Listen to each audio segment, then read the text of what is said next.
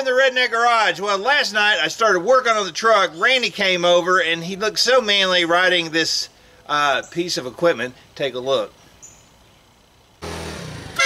Easy Riders here. Hey! Randy! Yeah. How come you're not sweating like I'm sweating? Holy crap. Cause I've been riding on this uh, buddy. Oh man. Look at my face. I'm, I'm just covered in sweat. This is not good. What are you doing? Came on over here to see if you got the truck yet. I did get the truck. I see that. It's my truck. You do what you want. I'm writing the song. Don't you wash it. I'm not. It's got a patina. Okay. All right, come on up here. I'm going to see if you can figure out what I've figured out. All right. What do you think's wrong with it? Why is the uh, radiator so wet?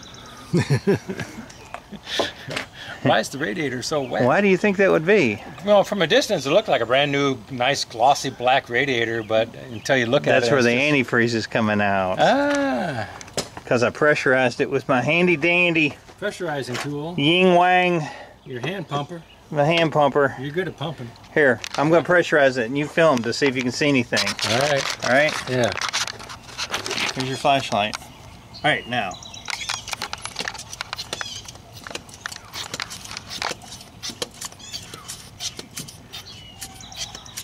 Not seeing anything. I think you do. I don't see Look anything. at the bottom. the bottom. No, it's dripping. Yeah, it's dripping faster. yeah. Who knows? You can see the bubbling coming from the bottom there, so it's in that seam. It's a plastic radiator. I'll take off the cover tomorrow and the serpentine belt because it needs to be replaced. And uh, definitely it's just coming out the side of that, that radiator like a bunch. You can't just go order a radiator uh, for this vehicle. Oh no, because there's two different ones, maybe three different ones, depending on the core size and the cooler. So what I'm going to have to do is take this shroud off the top, take some of this covering off the uh, overhead of it, and get down to the nitty gritty of the radiator so I can do some measurements before I can order it. All right, I got the shroud out, and the radiator's loosened up so I can measure the core from here to here, get a measurement, and that'll allow me to, to order a new one but you can tell that this one is not in good shape. The old Ram ProMaster showing the temperature at 109 degrees and I can verify that I feel every bit of it. Alright, I made it to the Advanced Auto Parts, Brentwood, Tennessee. I've got my uh, I've got my order here and I'm going to get my battery core and we're going to go in and see if they have my order ready. Recently they started carrying die-hard batteries, which was the um, bedrock of the Sears merchandising giant corporation, but they're out of business just about. And now Advance is picking up the banner of die-hard and selling those batteries.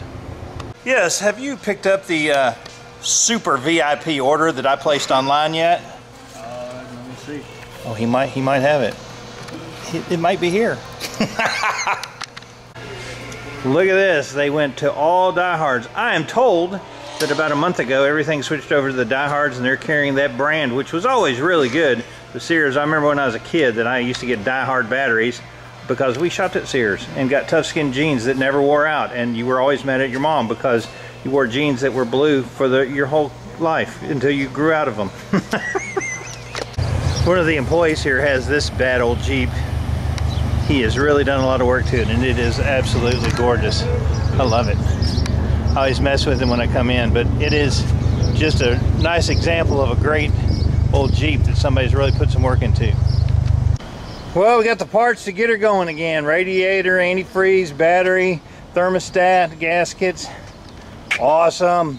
I will say this, um, they're always nice in this auto parts store, and I've always ordered my orders online so I don't have to stand in line with Goose and say it's a no, whatever it is, right? But not one time, nary a time, have I gone into this store after ordering online, and I've got, ordered a bunch of times, have they ever, ever had the order pulled. Every time I've gone in, they'd had to look at the order, pull it up, and then go pull the order, which I think kind of defeats the purpose of placing the order online. It's a little windy out here, but I got the parts.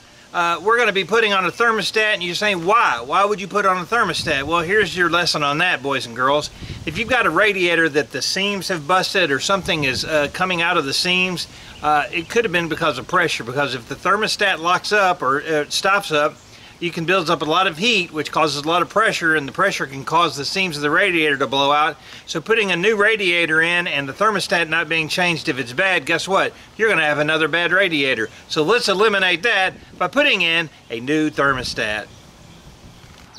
One of the tools I use a ton is my Milwaukee quarter inch electric ratchet. This thing is super handy. It uh, saves you a bunch of time in trying to wrench it yourself and it has held up amazingly well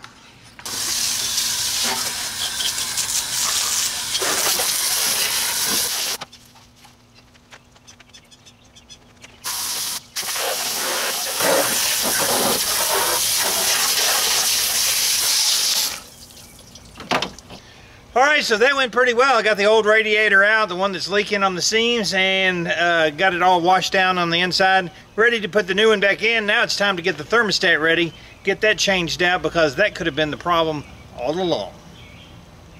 The thermostat on this model actually sits right down here, and you've got the housing with two millimeter bolts. We're going to take that off, and we're going to replace the whole thing.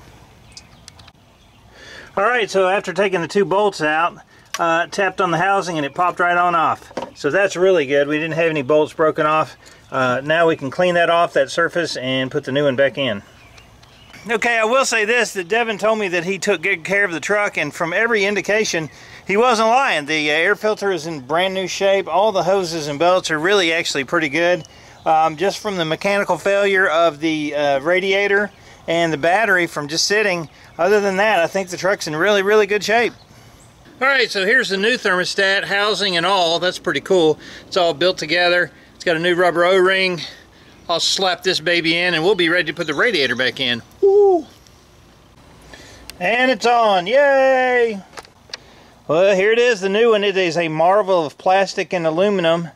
Uh, probably last, what, a couple years anyway. What do you think? A couple years? Maybe three. Maybe three, three years. That's interesting.